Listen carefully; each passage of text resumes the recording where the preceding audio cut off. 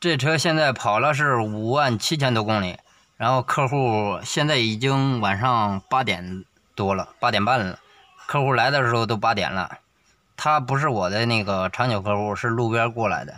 然后一开始来了跟我反映的说是跑到五六十迈的时候，打转向的时候呢，或者过弯的时候，感觉带着刹车似的。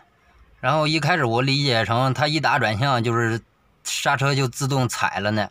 然后就带刹车呢，后来问了两三遍，他说是滋啦滋啦响一打转向，然后我说应该是刹车片没了，上架子看一下刹车片，现在已经上架子了。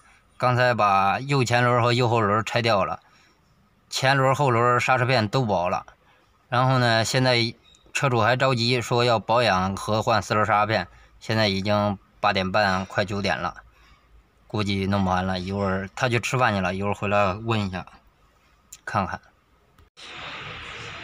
这是个一七一八年的，然后到现在刚两年，两年的话跑了五万多公里，刹车片看一下，磨着那个报警铁片了，这是原车的片，GM 原车的刹车片，它磨到那个报警片有一铁片，磨到那个位置就滋啦滋啦响。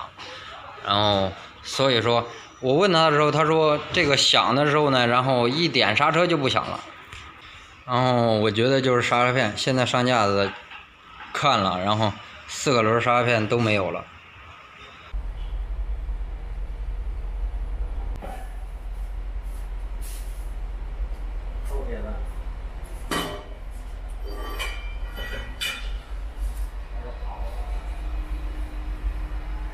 保养也做是吧？哥？那对，呃，你上面保养，先手机的，单修的。啊。我看你那个转向扣还有故障呢。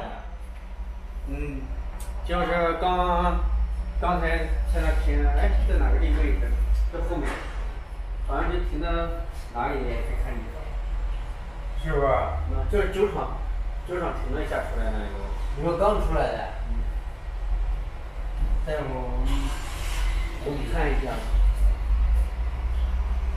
剩下啦？行吧。现在刹车片换完了，保养做完了，车主等的都快睡着了。现在踩一下刹车，已经十点半了啊。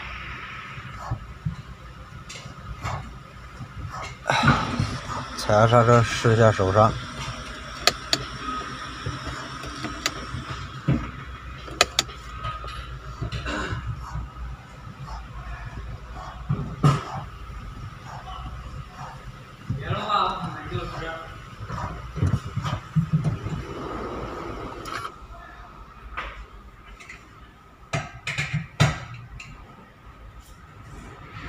快完事了，检查一遍。过来了，对对对，行，慢点啊。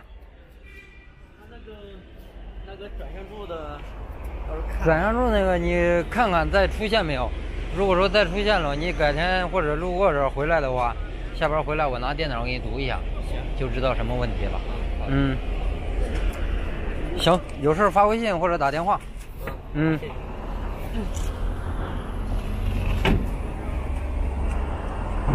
机油那个提示我给你归零了，归成现在一百了，到时候该换它都提示你了。反正你别等它就是非得零零零，到时候就是说剩个零剩个零点几了就换了它。对，行，有事打电话就行。嗯，慢点啊。